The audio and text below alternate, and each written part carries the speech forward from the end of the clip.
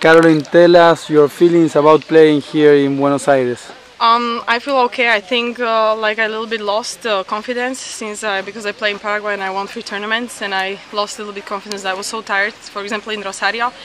And now I came here. I play again uh, qualification. I was first out and I was I had no motivation. I play against some Argentinian girl, and I'm really thankful to to supervisor and also to the referee because I should be disqualified in the first round because I throw the racket over the edge and I hit uh, some some people and I'm so sorry about that but I, I was so nervous and I know that uh, this is not attitude for a professional player.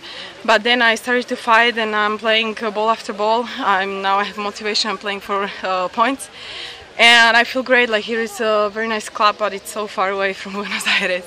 But it's uh, very beautiful. How old are you? I'm 20 and your ranking? Now my ranking I don't know because uh, now I'm playing like uh, good and uh, every week I have I get some points so I don't know my ranking but um, the thing I'm about uh, 300 or something.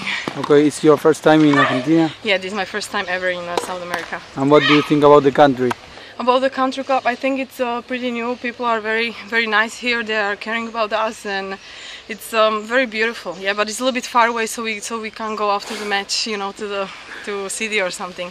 Okay. but it's nice I'm happy. Do you like to play on clay or you prefer to play in hard courts? Uh, I prefer I prefer to play a little bit on hard courts because I had uh, good uh, results in juniors and also on the grass but I get injured I had an operation so uh, since the since the operation I didn't have I didn't play on uh, on hard courts. So now all the season I'm playing on the clay and this season I started uh, from zero points and I started in May and now I'm that's why that's why my season is a little bit uh, longer and I think I'm gonna play on hard court next next year if, after the preparation. Okay, last question. What what do you think about the the final match? Uh, the final match, like uh, all the uh, the both girls I beat in Paraguay, one in semifinal, one mm. in quarterfinal. So um, I have confidence, and for sure they're gonna have a long match. I'm ready. I, I hope so. I'm not gonna lose confidence, and I I have nothing to lose. Like like I'm gonna play my game, which one is gonna improving me for uh, Grand Slams, and I'm happy. I have now I have a day off, and I'm re I'm ready for final. Okay. Thank you very okay, much. Thank you very much. Good luck.